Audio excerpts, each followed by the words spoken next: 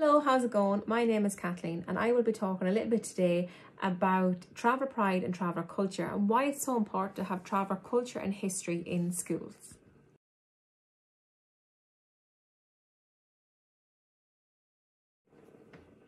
So as I said, my name is Kathleen. I am an Irish Mincéir or traveller and I have a Bachelor of Civil Law degree from Maynooth and a Masters in Human Rights from UCD. Along with that, I have a lot of experience working in advocacy and human rights in all different aspects of my career. I have worked locally, regionally, and nationally, and even internationally, fighting for human rights on behalf of travellers and Roma in Ireland. I also have my lived experience as a traveller as well. I am also doing my training with the PGCE online with Sunderland University. I'm doing independent distance learning, so I am hoping obviously to be a teacher myself. So I just want to preface this by saying as well that I cannot speak on behalf of all travellers in Ireland. I am only one person. Just remember that travellers are not a homogenous group, so that we cannot be seen as just one identity. We are individuals and we have diversity even within our own group as well.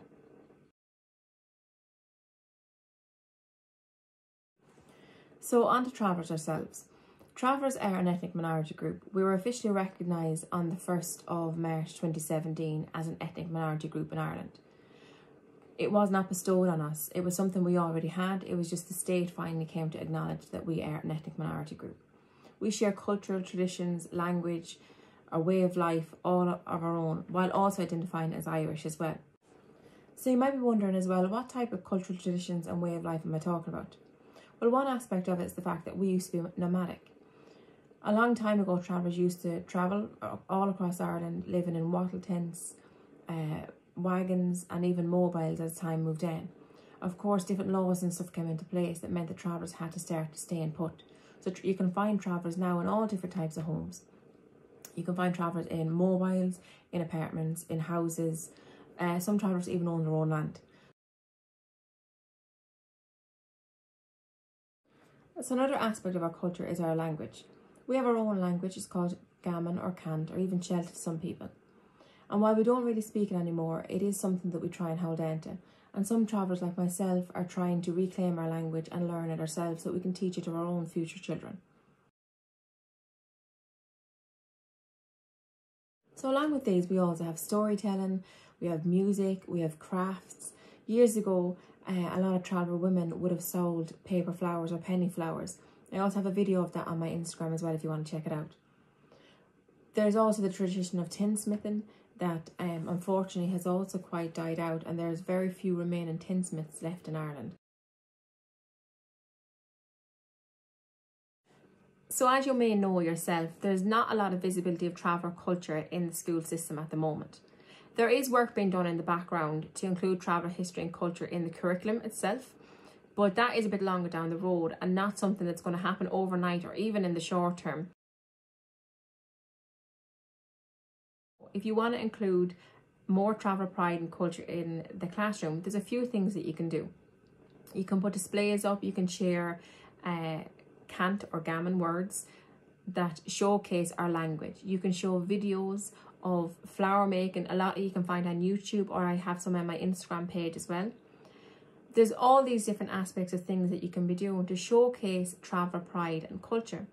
It's important to do this even if you don't have any traveller children in your classroom because it's not just about sharing traveller pride and culture if you have a child in your classroom, but it's also making other children aware of the diversity that we have in our schools and in our country. A lot of traveller children don't feel like they belong in the classroom. I know I didn't when I was growing up. I often felt like I was an afterthought. And to be honest with you, sometimes that was better because when I wasn't an afterthought, I was actively bullied and discriminated against. Unfortunately, that's still happening in this day and age. A lot of travel children that I have spoken to have talked about not feeling like they belong or the teacher not understanding them. Now, that's not always the teacher's fault because there's no central piece of information at the moment where you can go for guidance to find ways to include traveller culture and history in our classrooms. you can actually normalize different cultures in your own classroom. Get to know who is in your classroom. I'm not saying pinpoint children and get them to talk about their own culture because that's not their responsibility. If their culture is normalised in the classroom, they may feel more open about discussing that culture and feeling part of the everyday school environment.